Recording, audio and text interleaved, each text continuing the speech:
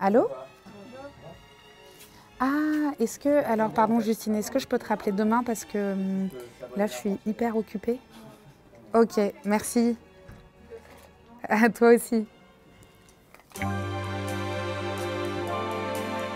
Alors, je porte une robe Armani noire, bustier, très moulante, très élégante et les bijoux Bulgari.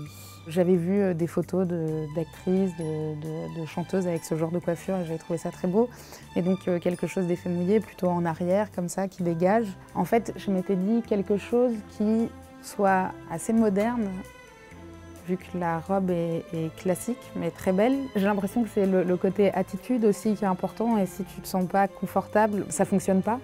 Quand on a choisi euh, ce que j'allais porter, ce qui est important, donc, euh, je disais, c'est l'attitude aussi et le fait de raconter une histoire.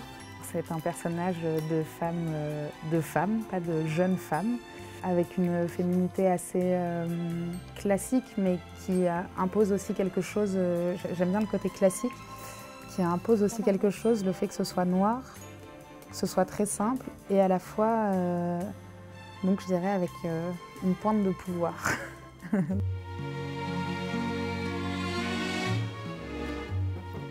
Très beau.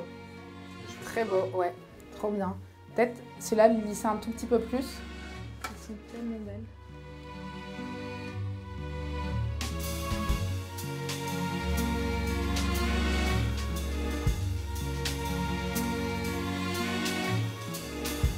Merci beaucoup.